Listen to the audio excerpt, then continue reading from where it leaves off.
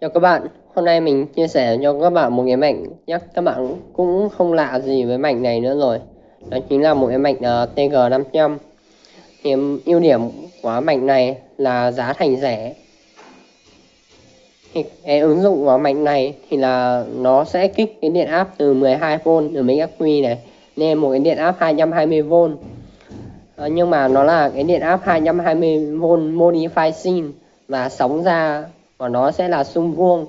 Và các bạn chỉ có thể tải cảm, các bạn chỉ có thể tải cho nó những cái tải thuần nhỏ hoặc là những cái mạch nguồn sung. Nhưng mà nếu mà các bạn tải cho nó tải cảm cũng được, nhưng mà một lúc sau, ví dụ như kiểu cái quạt thì quạt của bạn, các bạn sẽ rất là, dễ bị cháy. Và cái nhược điểm và cái ưu điểm nữa của nó là giá thành rẻ giá thành rẻ. Cái mảnh này các bạn mua lại giá khoảng độ tầm 50k thôi.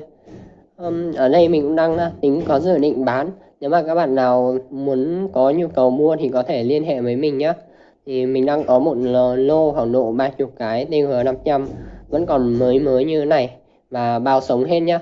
Các bạn có thể liên hệ với mình. Uh, mình sẽ chia sẻ lại cho các bạn một số còn một một số mảnh này. Ok uh, bây giờ thì mình sẽ chạy và cái mảnh này nó có một cái nhược điểm nữa là chạy ngắt sau 15 phút. Thì uh, nếu mà mình đang có ý định là mình sẽ mod cho cái này nó chạy liên tục và nó sẽ ra cái điện áp sin 220V thì ở đây mình cũng đang có một cái mạch TG500 mod đã mod rồi. Nhưng mà nó chỉ ra cái điện áp DC 310V thôi. Đó thì cái mạch này nó có hồi tiếp và nó sẽ chạy liên tục luôn nhưng mà nó chỉ ra cái điện áp DC thôi. Thì hôm nay thì mình sẽ chia sẻ cho các bạn cách để chúng ta có thể cho cái um, mạch TG500 này sóng vuông này sẽ ra một cái điện áp sóng xi nhé ở đây thì mình sẽ sử dụng cái mạch uh, ờ, video trước mình cũng đã làm rồi. Nếu mà các bạn nào muốn xem cái cách mình chế mạch này thì có thể xem ở vùng mục thẻ đề xuất này nhé ok bây giờ thì mình sẽ test thử cho các bạn cái mạch này trước đã. Sau đó thì mình sẽ kết hợp cái mạch TG500 này và cái mạch ờ, uh, C này sau. Để làm cho mạch ờ, uh, TG500 này chạy thì chúng ta sẽ phải uh, có một cái nguồn. Ở đây thì mình đang sử dụng nguồn server để cấp cho mảnh này. Thì mình sẽ cấp hai dây nguồn này. Dây màu xanh sẽ là dương này và dây màu à, xanh vàng sẽ là âm này. Đó. Bây giờ thì mình sẽ ok, và mình đã cấp nguồn cho cái mảnh này rồi. Đây, thì mình sẽ đo cái điện áp vào cho các bạn xem nhé thì các bạn để ý đồng hồ này.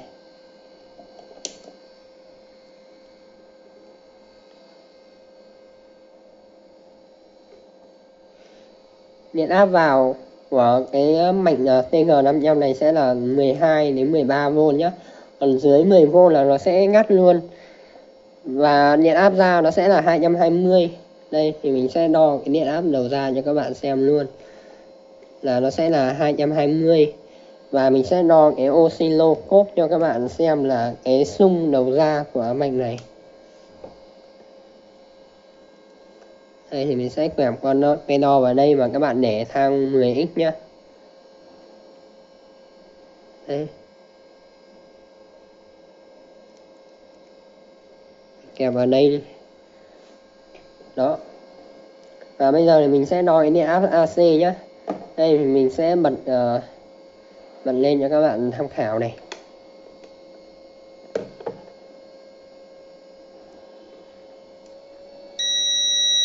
Đó, các bạn nhấn giữ cái nút này 3 giây. Thì cái đèn xanh này nó sẽ chớp tắt này. Đó. Và các bạn có thể thấy được là cái điện áp. Đây. Thì các bạn có thể thấy được là cái điện áp AC này.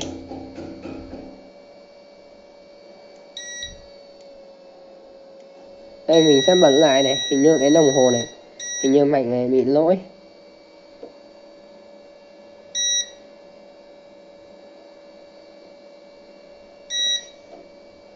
Như đồng hồ mình lỗi các bạn ạ. Đo AC mà nó đo được có 100 bao nhiêu vô đấy thôi. Đó. Và các bạn có thể thấy được là cái ờ, uh, xung vuông của cái mạch uh, TG500 này nó phát ra này. Đó. Đây là xung modify sin nhé thì nó không phải là hình sin hẳn mà nó không phải là hình sin mà nó sẽ là hình xung vuông này. Đó. Những cái góc vuông này sẽ gây cho gây cho các thiết bị tải cảm của các bạn sẽ ờ, nóng nhé đó mặc dù hiệu suất của nó sẽ cao hơn với lại sóng sin nhưng mà nó sẽ gây nóng và cháy những cái dây đồng ở trong cái ờ, động cơ tải cảm của các bạn. Bây giờ chúng ta sẽ có giải pháp để chuyển cái mạch uh, DG500 này sóng vuông như này sang sóng sin giống như kiểu điện lưới. Thì mình sẽ sử dụng cái mạch này. Bây giờ thì mình sẽ à, bây giờ thì mình sẽ test thử quạt cho các bạn xem nhé. Đây thì mình sẽ cắm quạt vào.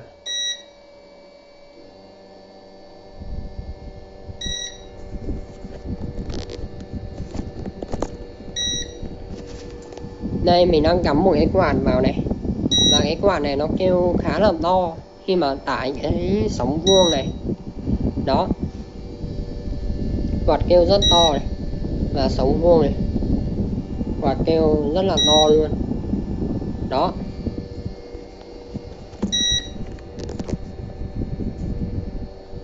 bây giờ này mình sẽ rút quạt ra này rút quạt ra và rút nguồn điện ra Vậy bây giờ chúng ta sẽ kết nối cái mạch uh, TG500 này vào cái mạch uh, OHC này nhá. Thì uh, việc kết nối của mạch này rất là đơn giản luôn. Nếu mà các bạn nào chế mạch này từ trước rồi thì các bạn sẽ cấp nguồn 12V vào hai đầu dây này.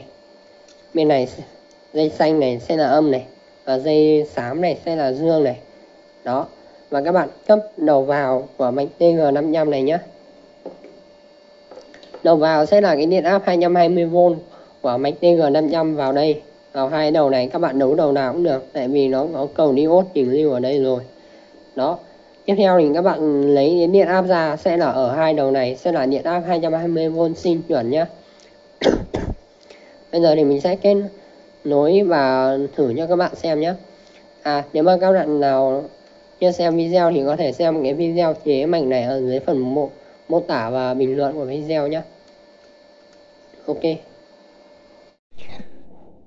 Ok và mình đã lắp ráp xong hết tất cả các thiết bị vào rồi này thì nó cần hơi nhiều đồng hồ đo một chút thì mình giới thiệu cho các bạn nó được trực quan và sinh động hơn. Đó, nó dối hơn cả đường à, hình duyên của các bạn đang xem video ấy. Đầu tiên thì mình sẽ lấy cái điện áp 220 điện lưới để nuôi cho cái nguồn server này nó sẽ chỉnh lưu. Nó sẽ hạ ra một cái điện áp 12V và nuôi cho một cái mạch DG500 này nếu mà các bạn nào dùng mạch DG500 sử dụng bình ắc quy thì uh, sẽ không cần cái nguồn này. Đó mình không có bình ắc quy là mình sẽ cấp 12V vào TG500 bằng cái nguồn server ở này nhá. Thì mình sẽ sử dụng cái đồng hồ màu đen này để đo điện áp 12V vào này. Và khi mà cái mạch TG500 nó sẽ kích ra điện áp 220 sóng vuông ấy thì mình sẽ đo bằng cái đồng hồ Zoji màu đỏ này và tiếp theo thì nó sẽ qua một cái mạch cầu H của mình. Và nó sẽ chuyển qua một cái điện áp sin và mình sẽ đo cái sóng sin bằng cái oscilloscope này. Nếu mà mình có một cái oscilloscope nữa thì mình sẽ đo cái sóng vuông cho các bạn xem, nhưng mà ở đây mình chỉ có một cái thôi. Và tiếp theo thì mình sẽ đo cái điện áp ra cho các bạn. Cái điện áp ra sin của cái mạch EGS này thì nó sẽ đo bằng cái đồng hồ T21D này của mình. Và mình đăng tải nó bằng một cái quạt 40W này đó. Thì mình đang cắm tải dây ờ, quạt ở đây này. Đó, nó đi xuống đây và đi lên đây vào quạt này. Bây giờ thì mình sẽ bật cái nguồn server lên cho các bạn xem nhé ở đây thì mình sẽ cắm nguồn server vào này. Đó, nguồn server nó đã chạy rồi nhá. Thì các bạn có thể đây cái mà mình ờ, mình đang để thang đo DC đây để áp nguồn server vào mạch uh, DG500 nó đang là 12V 11 nhá. Bây giờ thì mình sẽ bật lên cho các bạn này. Khi mà mình bật lên thì cái ờ, uh, điện áp ở đây nó cũng là 220V đấy. Đây thì mình sẽ bật lên này.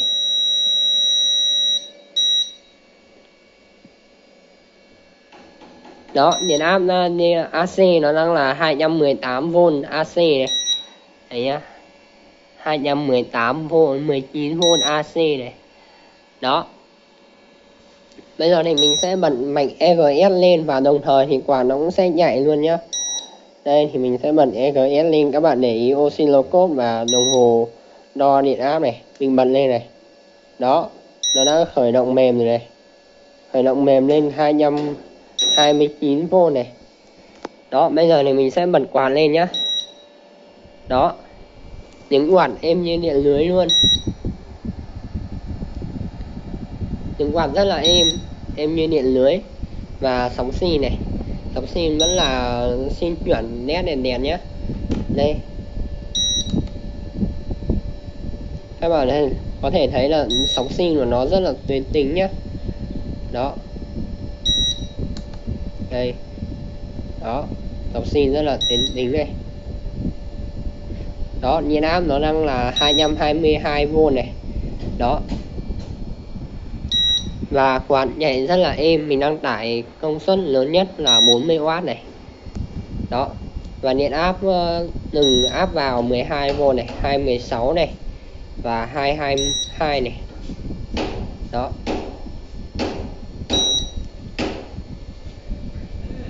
Thì các bạn có thể sử dụng cái mạch DG500 này chuyển qua sóng sinh này thì dùng quản nó sẽ rất là êm. Còn cái sóng vuông này thì nó sẽ uh, dùng cho các, các thiết bị uh, tải phần nhỏ hoặc là các, các nguồn xung. Ở đây thì mình sẽ đo cho các bạn cái uh, sóng uh, vuông của cái mạch uh, TG500 này qua nhé Ok hôm nay thì mình sẽ test video đến test cái mạch này đến đây thôi thì hôm nay mình đã chia sẻ cho các bạn là làm cách để chúng ta có thể chuyển cái sóng vuông của mạch TG500 này sang sóng sin để chúng ta có thể sử dụng cái điện giống như kiểu điện lưới nhá. Ok nếu mà các bạn nào thấy hay thì có thể cho mình xin một like một, một đăng ký kênh ủng hộ mình nhé Bye các bạn.